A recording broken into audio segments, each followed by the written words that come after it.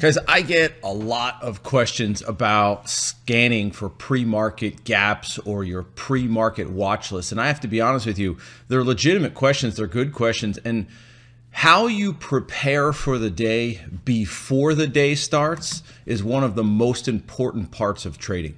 Okay? You see, if you're unprepared at 9:30, you're probably not going to have a good trading day. So for me, my trading day starts between 8.30 and 8.45 each morning. That's when I kind of get in front of my desk, organize my stuff, and then I open up my trading platform.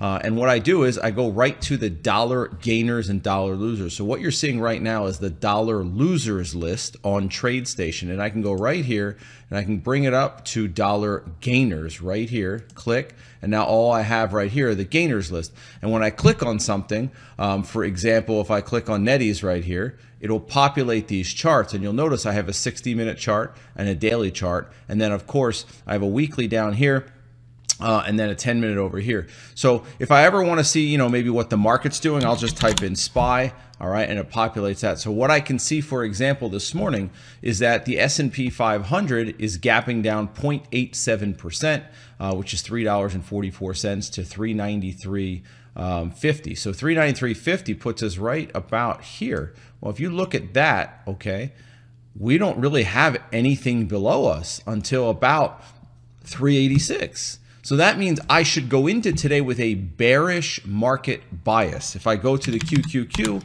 it's much of the same. In fact, they're almost indistinguishable. So we've had a three days in a row up in the markets. Now we're down at 276 on the Qs, down 1.1%. 276 is right about there. So we have a little bit of work to do, just a little bit. But if we get under 275, the Qs should retest 270. So while I will put some long ideas on my list, and I absolutely will scan for some long ideas, okay? My focal point today is going to be more on the short side. And you can see that because I've actually already formed my watch list. You can see I only have three long ideas today, and I have about eight short ideas, and I probably could have added some more. So what I want to show you guys, I'm going to go to the, uh, the losers list, okay? And I want to show you a couple things about how I scan. All right. One of the first things I do is filter by volume. So if I see a stock that has less than 5,000 shares, I will not touch it. Right here, for example, BLK right there, 2,800. I'm not going to look at it. CACC, 9, I'm not to look at it. Um, right here, LRCX, not going to look at it. TMO, not going to look at it. DPZ, not going to look at it because they have too few shares for me. Now, it doesn't matter. It doesn't mean that some of those trades won't go higher or won't go lower or they won't work. They're just too thin for me right now.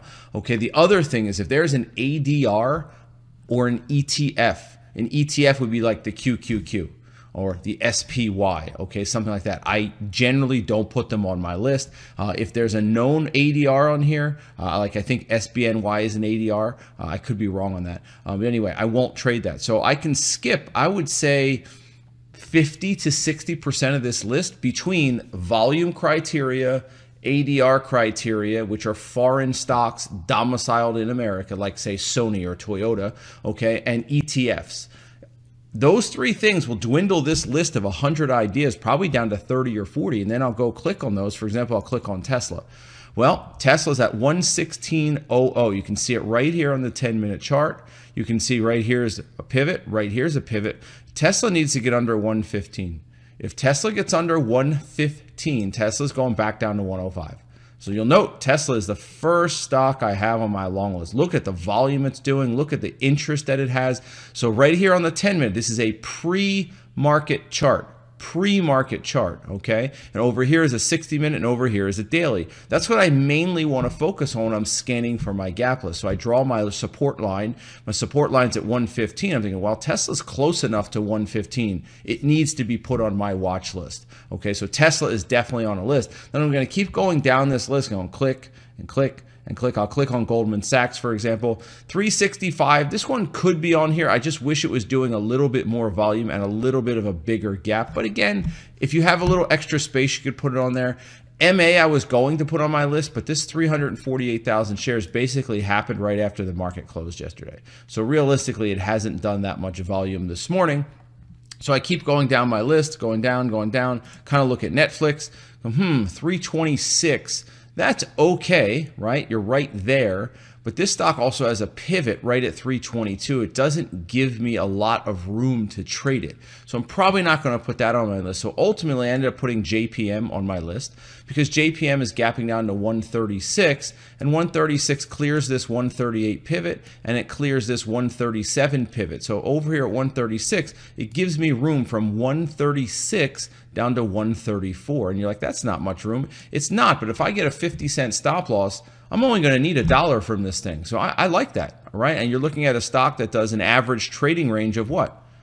A dollar fifty a day, right? So when you look at it that way, like, wow, $2 worth of room on JP Morgan is actually a reasonable amount of room on this thing from 136 to 134. The volume on it's over 10 million shares a day. The average trading range per day is only about a dollar fifty. So I'm going to put that on. UAL, this is one of my top favorites today. Why? Guys, it's up one, two, three, four, five, six, seven days in a row. The last three days are what I would call super wide range bars. And on top of that, what do we have here? A huge volume spike. To me, this looks climactic parabolic. And yesterday, this thing peaked at 51 and the low was 48.50. Well, we're at 49.50. What are we doing? We are gapping about 80% into this green bar. There is definitely profit taking or short selling going on here right now. Uh, and this stock, again, being up seven days in a row, super wide range bars, huge volume. That's ending volume right there. This stock should pull back. But you know what? When you have one like this, what do you want to do?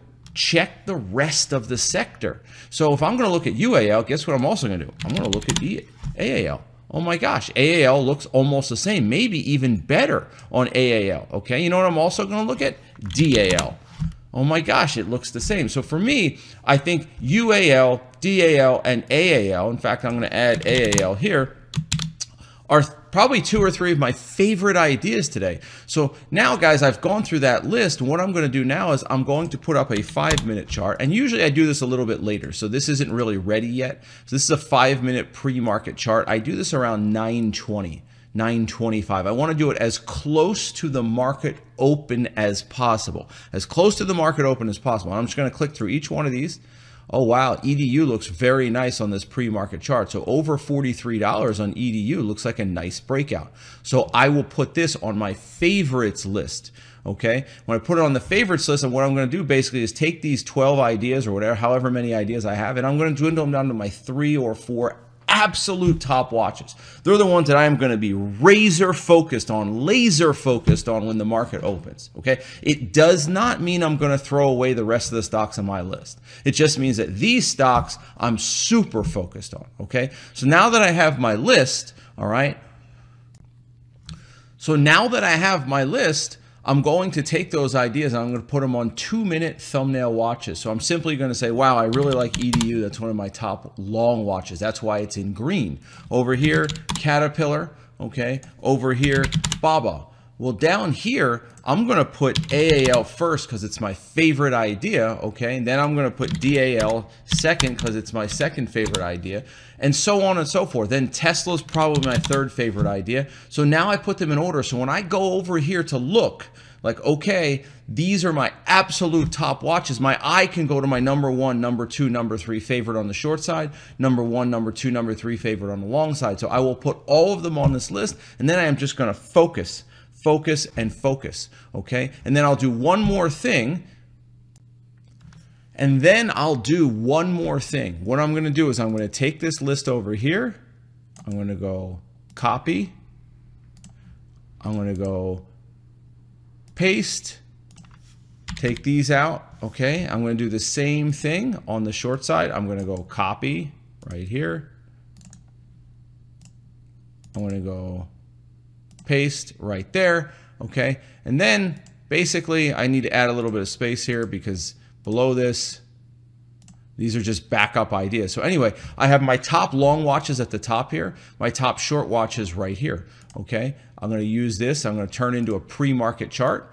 Wow, look at PayPal. PayPal looks really good. That's one of my top watches. Okay, but the problem is PayPal on the daily has a bottoming tail at $77. So you can see while the pre-market looks good, the daily over here is tough. So guys, when the market opens, I'm going to be staring at my thumbnail watch list on my left hand side, and then I'm going to be pulling up charts over here. JP Morgan, what is it doing? And when I want to trade a stock, I'm ready. I already have it in uh, in my order entry box and ready to rock and roll. So a lot of people ask me, hey, Jared, how do you prepare for the market open? That's pretty much exactly how I do it. Um, and it's all about focus, knowing what your market bias is, knowing what you want to trade that day and staying focused on it. We're not Elmer Fudd just shooting around with a gun. We're, you have to treat this like a business, man. Laser, laser focus. Your, my job's to come in today and find two or three good trades, two or three good winners and walk away in an hour. That's it. I have other stuff to do, man. I don't want to be in front of my desk for 12 hours, eight hours. I don't know about you guys, but I don't.